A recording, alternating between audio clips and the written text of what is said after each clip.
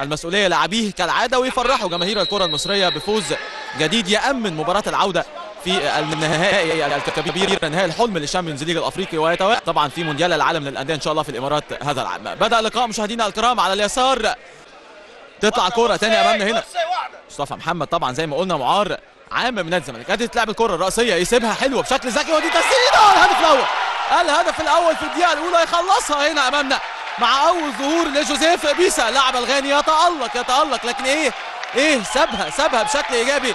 اللاعب مصطفى محمد لأنه كان في موقف تسلل وجوزيف بيسا كملها وسددها وخلص الهدف الأول في الدقيقة الأولى. ينجح أمامنا هنا جوزيف بيسا اللاعب الغاني في إحراز الهدف الأول. جول أول لفريق نادي طنطا جول التفوق لفريق نادي طنطا على أرض الملعب. وخالد عيد فرحان مبسوط بالتأكيد. فوز يعني ينتفض به فريق نادي طنطا لو فاز النهارده لو كملت لسه بدري لسه بدري وزي ما بنقول double edge weapon سلاح ذو حدين. الهدف المبكر إما تحافظ عليه لكن زي ما قلنا لسه بدري لسه بدري. المباراة يعني لم تحسم بعد لسه الأمور على أرض الملعب والوقت كبير للتعويض والتفوق كمان ولما لا طبعا رفاق عماد سليمان. وأدي أمامنا التسديده وهنا أمامنا. تطلع بره بره بره لف ودار وسدد وسدد ولكن ما ظبطش الدقة في التوجيه في قلب الدفاع. ترجع تاني. سيطرة واستحواذ حصار هجومي من فريق نادي طنطا. ادي العرضية والراسيه الرأسية لكن إيه ما, ما, ما توقعش إنها تمر. سددها كده برأسية من الثبات من الثبات لكن أعلى القائمين والعرض. أسعد الركنية أدي أمامنا ركنية على القائم القريب ولكن يطلع في التوقيت المثالي أحمد مسعود. لسه الكورة فرصة. بيسا ممكن يسدد مشيت معاه وتسديدة والهدف الثاني. هو هو هو الغاني الغاني الغاني. قلنا هنا في سلطان غاني اسمه جون أنطوي لكن بيرد. بيقول كمان ان سلطان غاني موجود على أرض الملعب. جول تاني لفريق نادي طنطا. جول التفوق الأكثر والتعزيز الأفضل لفريق نادي طنطا على أرض الملعب. 2 لا شيء وبهدفين من قدمي اللاعب جوزيف بيسا الغاني اللي النهارده كورته مجنناني. يستغل الفرص أجمل استغلال مهاجم عنيد ويعني حيران عماد سليمان حيران. ما اتغيرش كتير. سليمان واحد عن سليمان اتنين لكن لسه أول مباراة طبعا. معذور معذور. معذور عماد سليمان عنده عنده كتير جدا كمدير فني تقيل ولكن يعني بيصطدم بفريق نادي طنطا اللي بيكسب الثقة والخبرات. حسني فتحي ثنائي من حائط صد موجود. ادي امامنا البيانات عملت فيها الجبهة اليمنى. رضا العزب عنده عرضيات حلوة.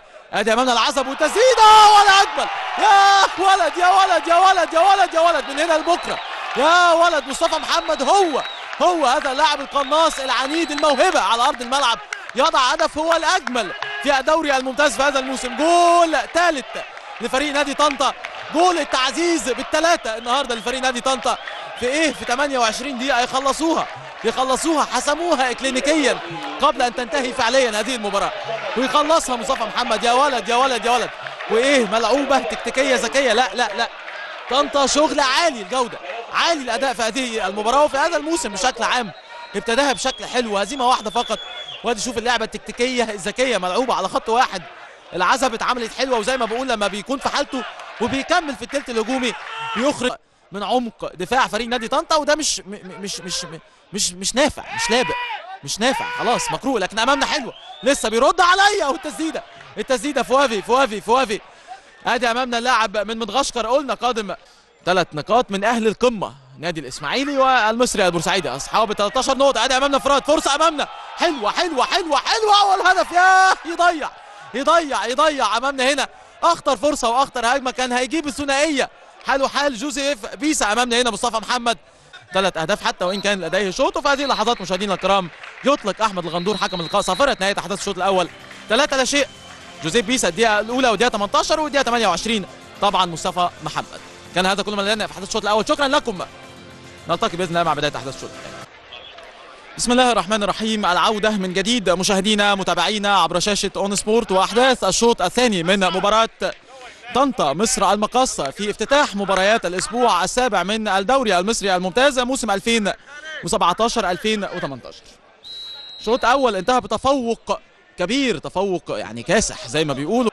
آدي أمامنا النقله تنقل فيها الجبهة اليسرى. عنده فرصة للعرضية أمامنا هنا. أحمد سامي وادي العرضيه على حدود منطقة الجزاء. تتعمل فيها تسلل فيها تسلل. هدف أبيض هدف أبيض أمامنا هنا. النقلة واللمسة من جانب اللاعب بولان فوافي لجون أنطوي ليسدد في المرمى. لكن أنطوي أنطوي هو اللي عملها. وطبعا تسلل واضح وصريح. إيريك تراوري هو اللي كان في موقف تسلل أمامنا هنا البوركيني. ولا ال- ال- يعملوا شغل جمالي وأداء عالي. ادي أمامنا حلوة فرصة البينيه أنطوي يسندها حلوة دي تسديدة يا ولد. يا ولد يا ولد يا ولد. حلوة حلوة حلوة حلوة. الشحات حسين الشحات يضع هدف من أجمل أهداف الدوري. النهارده مباراة الأهداف الجميلة الحقيقة. جول أول لمصر المقاصة. جول التقليص لمصر المقاصة. 3-1 يعود في الدقيقة 57 أمامنا هنا اللاعب حسين الشحات صاحب ال 26 عام ابن الدخان الشرقية. وطبعا منذ موسم 2014 2015 مع فريق نادي مصر المقاصه لكن اتلعبت حلوة برضه تكتيكية ذكيه كل الأهداف تاني البينية في الجبهة اليمنى رؤية حلوة بنقلة حلوة. فرصة.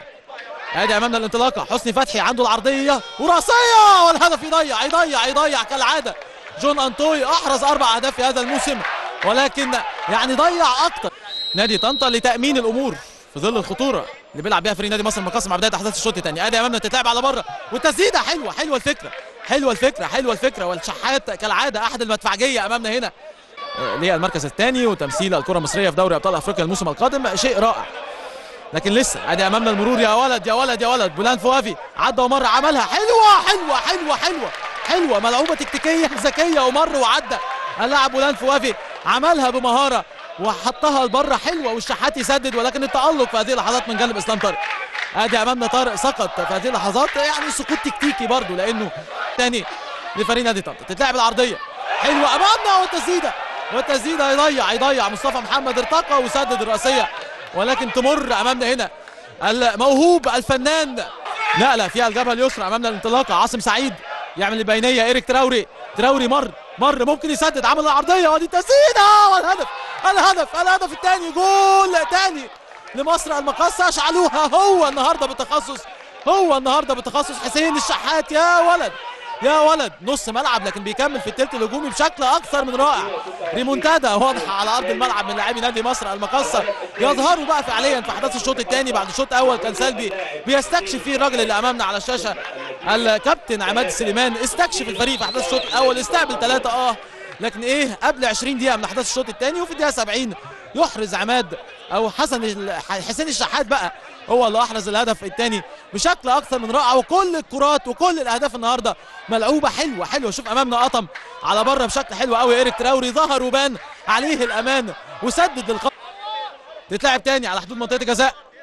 فرصة الشحات أنطوي يحاول يمر ودي تسديدة. ممكن يا يضيع يضيع. إسلام طارق ينقذ هدف التعديل في هذه اللحظات. في الزحمة كاد أن يحرز هدف بنفس الشكل وبنفس الطريقة. الحاط البشري الحاضر لتغطية زاوية على إسلام طارق. ادي أمامنا هنشوف التسديدة. ودي التسديدة الأرضية. الهدف الهدف الهدف الهدف الثالث يا ولد هو هو هو. الشحات المدفعجي قلنا خلوا عينيكم على هذا اللاعب. جول ثالث لنادي مصر المقاصة. جول التعديل لنادي مصر المقاصة يستحقوها بشوط ثاني عالي الجودة. شوط أول طنطاوي شوط ثاني مصر المقاصة مهيمنة مسيطرة وبالتخصص النهارده حسين الشحات ابن الدخان أمامنا القادم منذ موسم 2014 2015 لفريق نادي المقاصة. الخبرة والخبير الموجود في نص الملعب هو اللي يعني إيه بياخد مسؤولية التسجيل النهارده في هذه المباراة يسددها أرضية إيه؟ يا ولد على الذكاء. كل حائط ال- الصد كان موجود ارتقى الأعلى هو سددها من الأسفل. ولا أجمل حاجات من بتاعة إيه؟ دون كريستيانو رونالدو. الحاجات اللي بتتحط بإتقان وتقنية عالية. حطها وثبت إسلام طارق ولاعبي نادي طنطا. والهدف الثالث لفريق نادي مصر المقاصه مباراة. ولا أجمل ولا أروع ولا أحلى.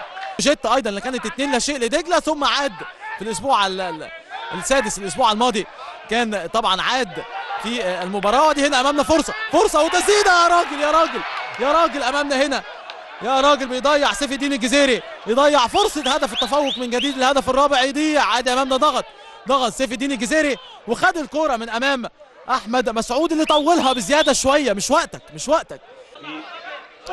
خمس دقائق وقت محتسب بدل من ضائع في هذه المباراة. وفي هذه اللحظات مشاهدينا الكرام يطلق أحمد الغندور صافرة نهاية أحداث الشوط الثاني والمباراة.